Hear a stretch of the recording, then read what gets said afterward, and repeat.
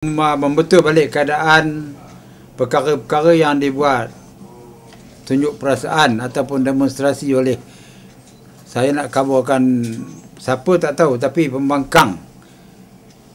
Saya lihat uh, yang Muhammad Cik Leo Memeng mengepalai satu perarakan untuk menuju ke pejabat daerah. Konon-kononnya membantah selama 30 tahun mereka mohon tanah DO tak keluar tak nampak muka kerajaan tak nak tolong tak nak ambil peduli itu alasan di isu dia dari dulu lagi. Tapi sebenarnya mereka ni politik murahan. Dia ambil kesempatan atas usaha yang dibuat oleh wakil rakyat kita daripada Barisan Nasional. Saya sendiri bersama dengan pejabat daerah pejabat tanah Sungai Siput turun padang dan kita telah banci semua keadaan yang mereka sebutkan. Saya rasa dia kata belakang Sincong Kampung Bengali Kampung Berasami Waktu satu jalan lentang Kampung Ciokok Tai Sungai Buloh KTMB dan beberapa tanah. Apa ni peneroka bukan peneroka dia menyewa tanah milik ini termasuk kampung Bahari dan juga kampung apa India atau satu nama apa? Kampung Gopal. Kampung Gopal ya. Jadi ini kita tidak tahu berapa jumlah duduk di tanah milik ini. Tetapi yang kami telah tahu dah dah buat kerja kampung belakang Sincong ada 80 orang. Sudah dibanci siap. Mana tunjuk kertas banci ada pada dia. Makna kita dah banci ada pada dia. Bukan kita banci kosong, kita buat balik. Kita ada bagi dia satu kad dia pegang. Pernah kami ditipu.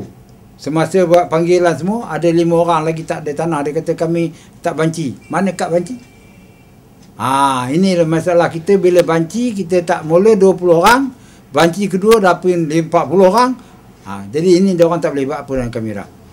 Ha, jadi ini maknanya pembangkang dia cuma cari dapat supaya orang kata orang kampung kata cari ketam tak berspek tak dapat. Ketam tak berspek tak dapat.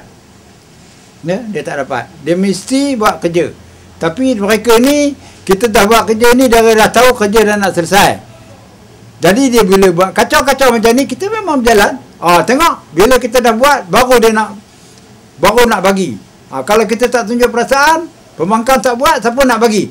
Ah ini dia model dia sekarang ni dia ambil itu je Ha, kalau dia nak buat, dia pejabat tanah pun dia tak boleh masuk. Sebab apa dia pejabat tanah masuk? Dia bawa 4-50 orang buat perasaan. Tunjuk perasaan. Kita tak payah, kita buat kerja. Tuan Padang dengan DO, ADO semua buat turun. Pegawai pejabat tanah buat banci. Tak ada masalah. Semua tunggu pelaksanaan saja lagi. Itu saja. Tutup cerita kita. Jangan lagi tunjuk perasaan. Nak tunjuk depan Datuk Najib lah apa lagi. Jangan. Ini semua kosong mereka. Bohong. Ha, sekarang mangkang dia ini dia kerja dia. Dia tak ada kerja lain dia menghasut kepada rakyat supaya jangan ikut apa kehendak kita.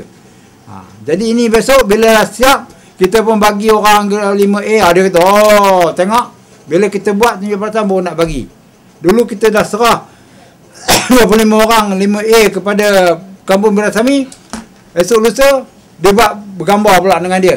Dia menyampaikan kata ah ni patut bayar cepat ini betul punya 5A. Ah ha, dulu tipu pula. Ha, itu ayat dia. Sekarang ni ayat ni dia nak ambil ketam tak berspek benda ni. Supaya dapat nama saja. Ha, tengok bila kita dah kacau baru bagi.